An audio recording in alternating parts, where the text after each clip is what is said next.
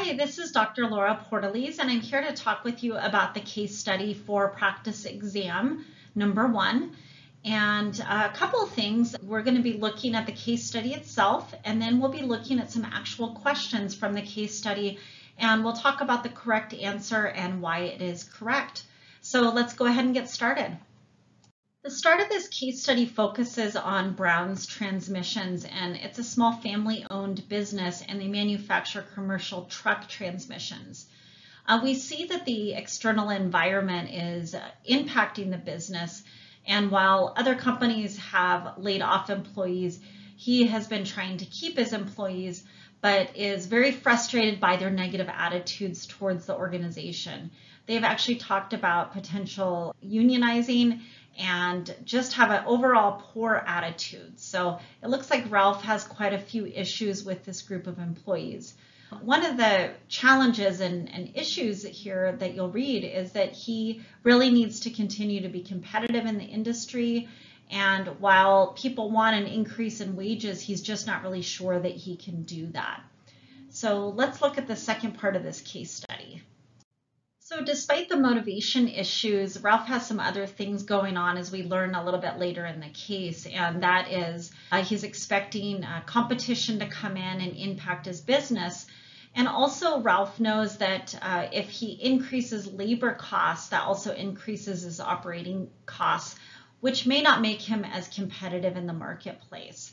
So a lot of challenges here, and this is a, a, big challenge that many businesses face, how to balance uh, the needs of employees and the management of employees with the external environment.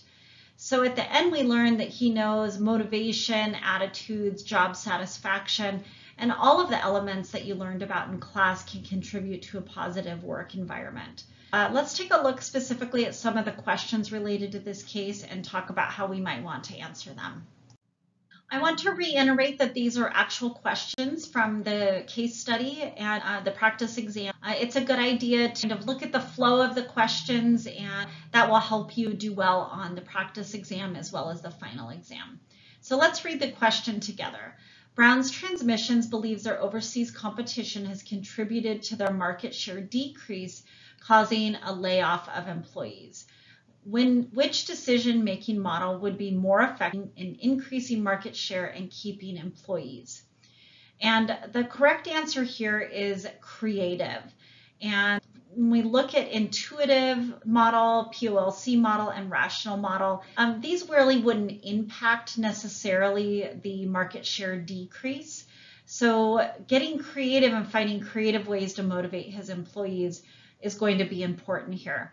And we can tie this question specifically to a course learning outcome, which is identify factors that affect motivation and employee motivational theories that increase productivity. Let's take a look at our next question. So we learned in the case study that Ralph uh, has been running this family business and many of his employees have been there many, many years. Uh, so that's going kind of the basis of this question. So let's go ahead and read it together. Which is the most likely contributor most hindering an employee from reaching out to Ralph directly to discuss concerns at Brown's transmissions? And we can see our options here, and the correct option here is C, the organizational hierarchy. So while uh, hierarchies and organizational structures are necessary for businesses to be effective, sometimes that can inhibit communications between employees. So what Ralph may want to consider doing is restructuring uh, and creating a culture change within his organization so that people feel comfortable going directly to him. The course learning outcome for this question was evaluate frameworks that support managerial decision making and improve organizational efficiencies. Let's take a look at another question. This question is focused on uh, Ralph possibly taking action that can assist with the motivation of his employees. The question reads, suppose Ralph invites all employees to a meeting to discuss the issues at the company. What factor can Ralph use to show employees that he understands the issues that they may face? And we have uh, several good ones here. Uh, communication, of course, is important. Uh, gratitude is important. Vision is important as a leader. But really in this situation, the key word here is what factor can Ralph use to show employees that he understands? So the word understand cues us into the idea that the correct answer here is empathy. And our course learning outcome is identify factors that affect motivation and employee motivational theories that increase productivity. Let's look at the next question. In this question, we're going back to the competing values framework that you learned about in the unit. The question reads, what type of culture is Brown's transmissions more associated with?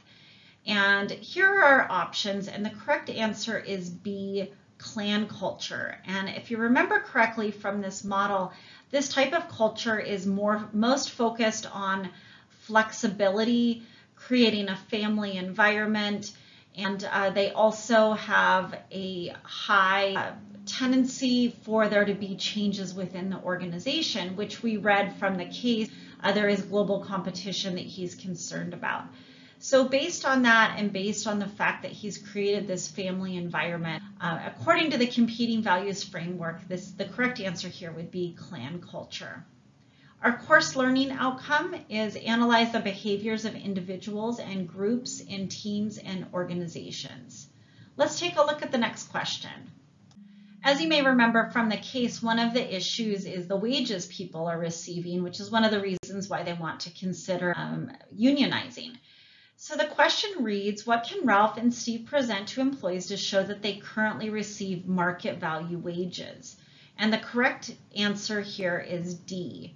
So while a pay analysis might be useful, it's not just pay, it's total compensation and total rewards that we want to consider. So that's not just pay, that's things like benefits and paid time off and so forth. So we want to show them the entire compensation package, not just the pay analysis. Uh, the code of ethics wouldn't do a whole lot of good to show a receipt of market value wages, and the mission statement probably wouldn't either. So the correct answer here is compensation package. Our learning objective or learning outcome for this particular question is develop strategies for managing people within the organizational culture through times of volatility. Let's take a look at our concluding slide. Well, I hope you received a lot of benefit from this review of the practice case one, and I wish you the best of luck on the practice exam. And also consider when you're reviewing the study guide and reviewing the practice exam, uh, go back and um, feel free to re reread material as needed to make sure you understand all of the concepts prior to working on the real exam. Again, I wish you luck and thank you for watching.